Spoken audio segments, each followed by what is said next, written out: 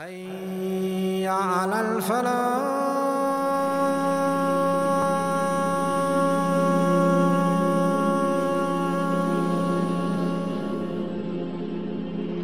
Structure of my talk, very quickly.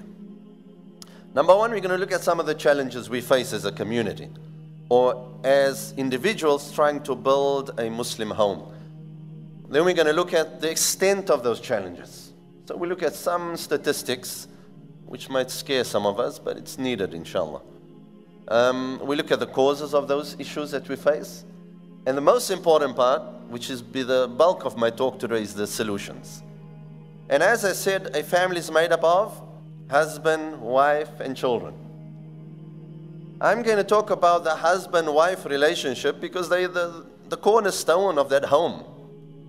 Why is it when Allah subhanahu wa ta'ala says to me and you that it is Allah subhanahu wa ta'ala's might and power and His gift and recognition of Allah's might that is created for us spouses?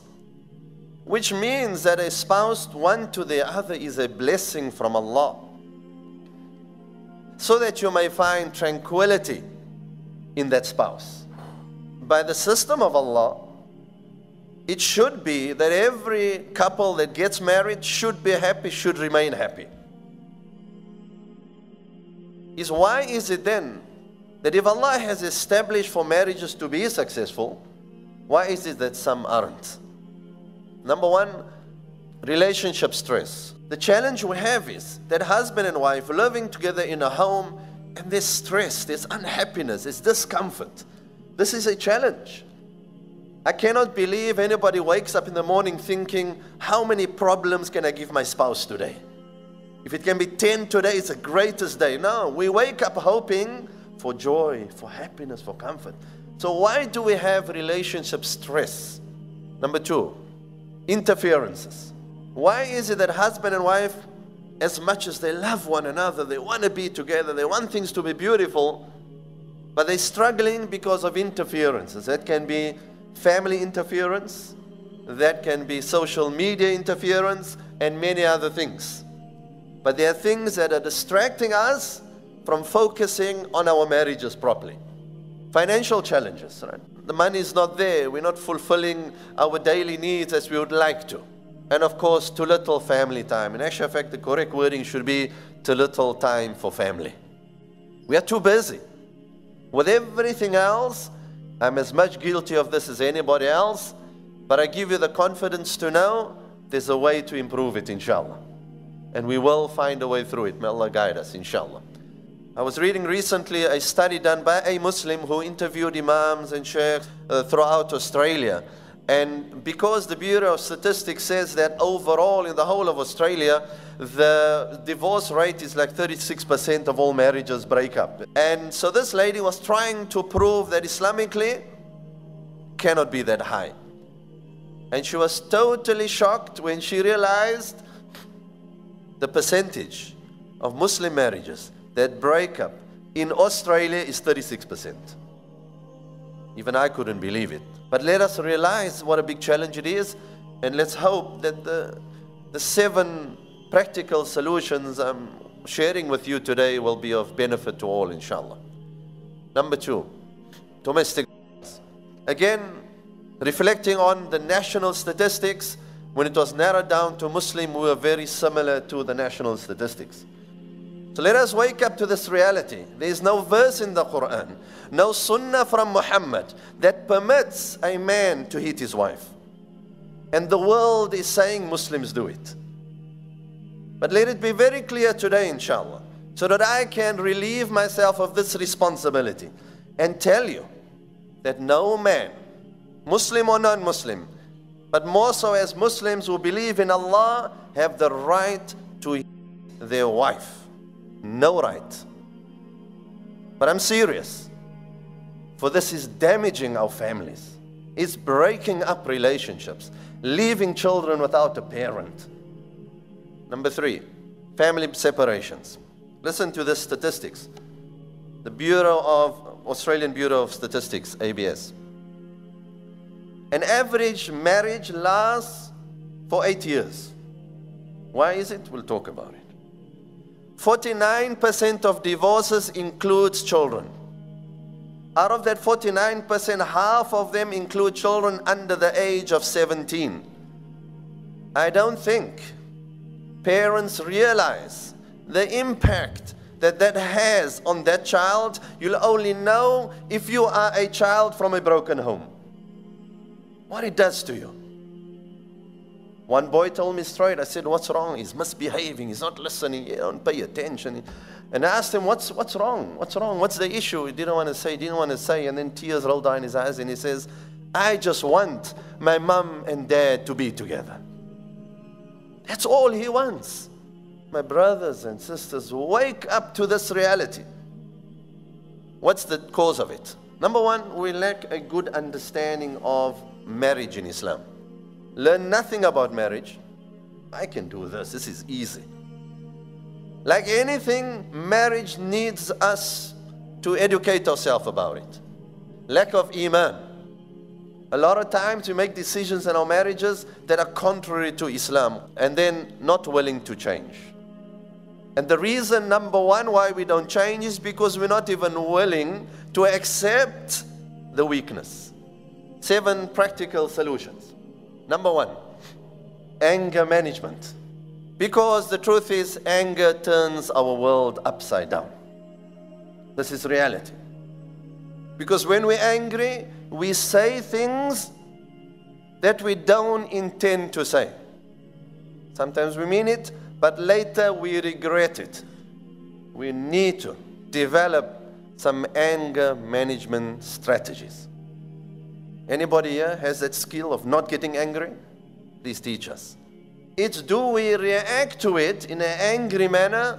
Some manage it well, some don't. Some are very patient, some are impatient. When Allah subhanahu wa ta'ala says, the real pious ones, the ones who are genuine in their obedience to Allah, they're able to restrain themselves in the moment of anger and they're oft forgiving. Even when it is their right to be upset, they're able to forgive. It doesn't mean every incident needs to be swept under the carpet. No. Let us develop strategies when these things do infuriate us. How do I manage myself to prevent myself from saying or doing things that I'm going to regret later and harm my family, scar my children forever? Sahih al Bukhari, the Prophet ﷺ said, overpowering somebody in wrestling or arm wrestling, that doesn't make you a tough guy. A real tough guy, someone to admire, is when he has physically the ability to react and to respond, but chooses not to. That's an honorable man. That is an honorable woman. That is somebody worthy of respect. So, really thinking that in exerting my anger and my power and my control over my family, I'm macho, I'm the guy, I'm the it. No, you're not. Most times, exerting our anger is the sign of our insecurities.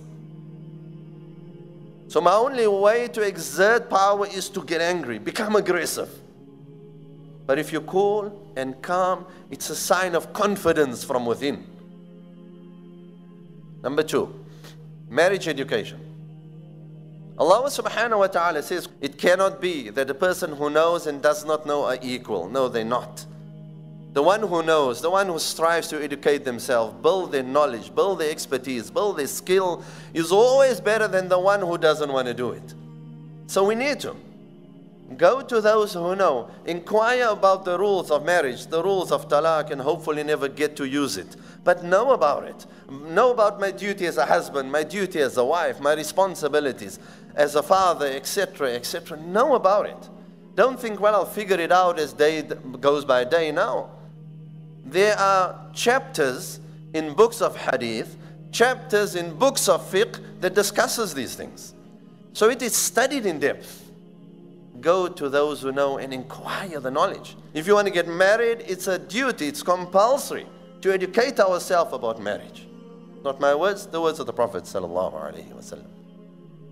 you've gone through the process, got married, did the causes, but you're still struggling. This is where you can get a bit of help. So get the counseling not when, you know, it's about to break into pieces, but along the way when you realize, look, I'm struggling with this. I can't figure it out. We're not moving forward. Let's get some help. Ask those who have some understanding, those who have some experience, for they will be able to guide you through it. Rather than when everything falls apart, no, it's sometimes and most times too late. Number four, we should probably be number one, bring the Quran and the Sunnah completely into our lives. So we start picking and choosing when we want to follow the Hadith and when we want to follow the Quran. If we pick and choose, we're treading the path of shaitan. What is the system of shaitan? Follow your nafs, follow your nafs, follow your nafs. And that which is in Quran and Hadith which suits us. So don't say I'm following the Quran, following my nafs.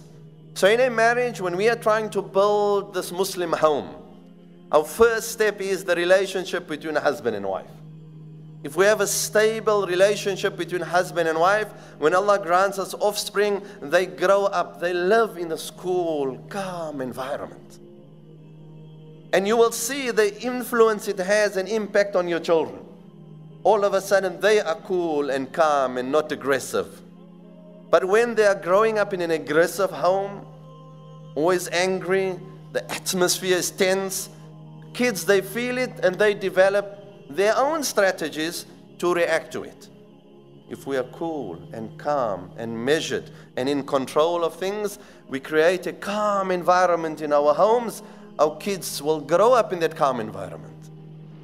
What dad does, they think that's the right thing to do, and they will emulate it and follow it. Number five, improve our communication. There's one verse where Allah subhanahu wa ta'ala says to Musa alayhi salam and his brother Harun, talk to him very calmly. Don't be aggressive. Don't get rough. Look at the next part. This is a part of importance. That perhaps that your calmness will either make him heed for what you're saying or develop a sense of awe for you. Even somebody who wants to say something back at you will be relaxed. And more so in marriages, my brothers and sisters. No matter how stressful things might become, no matter how difficult a situation might be, but speaking loud, humiliating each other does not resolve it, it makes it worse. But if you calmly waited till your anger subsided if you were angry, and then sit down and look, you know, look at this. This is a situation. How are we going to resolve it? You will find some direction. It won't solve your problem. Listen to the hadith of the Prophet. Subhanallah. A person came in to the Prophet ﷺ, knocked on his door, took permission. Aisha anha said, O Prophet of Allah, there's a person by the door, he wants to see you. The Prophet said, let him in, but you know, he's, he's amongst the worst of his people. When he came in, the Prophet ﷺ spoke to him very calmly, very nicely, very respectfully. When he left, Aisha radiallahu anha said, O Prophet of Allah, you said what you said. You said he was the worst amongst his people, and then you spoke nicely to him. Look at the words of the Prophet ﷺ. Ya Aisha, O my wife, the Prophet Sallallahu ﷺ said, the worst amongst people on the day of Qiyamah in the presence of Allah will be the person who people fear because of their indecency. For there are many children who are scared of their fathers. When dad walks through the door, they run to their rooms we'll be very far from the mercy of Allah if that is who we are. Get the guidance, go for counseling, calm down, find ways, whatever it is, strategies to manage our anger, for it destroys families. The Prophet ﷺ said that a person who sees, that if you see somebody whom Allah subhanahu wa ta'ala has given more beauty than yours, more wealth than you, then you look at the person who has less than you. Otherwise, you will have less value for Allah's blessings upon him. My brothers and sisters, this is amongst the biggest challenges we have in marriages today. That we are trying too hard to live above our means. We put ourselves in debt. Go to our friends, yeah, he's got a beautiful black leather lounge suite. Man, I need to match this. Chuck that old one out go to whoever we go to, take it on loan. So what are we doing? more and more debt upon debt upon debt, where reality is if we took a few months, accumulated the cash, we could have bought something very nice for cash, sleep nicely at night. No one's going to knock on my door, you owe me this, you owe me that. But we live above our means. We strain our relationships. Now we have to work extra hours to make up the payment. Now the wife has to go work and put the kids in childcare. All of the stresses we burden ourselves with because of our desire to love, live beyond what we can. So, for young people who want to get married, I'm telling you now, my advice to you is start humble and keep going humble. You'll be happy, you'll be comfortable. Allah subhanahu wa ta'ala says in the verse I mentioned earlier that it is a sign from Allah that He gives you a spouse so that you find tranquility. We need to be striving for tranquility in our marriages. Not be the reason for the breakup, not be the reason for the stress, but think of ways to develop tranquility within our marriages and find strategies. Speak to those. You see an old man, 50 years married, go and talk to him and say, oh, Brother, how did you do it? 50 years? MashaAllah. Tell me, you'll, you'll hear some amazing wisdom from them. I'll leave you with a quote Marriage is like a garden, it takes time to grow. Those people have put time, energy, effort, love, dedication into it. Marriage is exactly the same. The harvest is rich unto those who patiently and tenderly care for it. But what's the great thing about it is that your children are going to play in that beautiful garden. Your children are going to enjoy the beauty, beauties of your marriage. They're going to be happy. They're going to be tranquil. They're going to grow up confident. May Allah subhanahu wa ta'ala bless our marriages. وما علينا إلا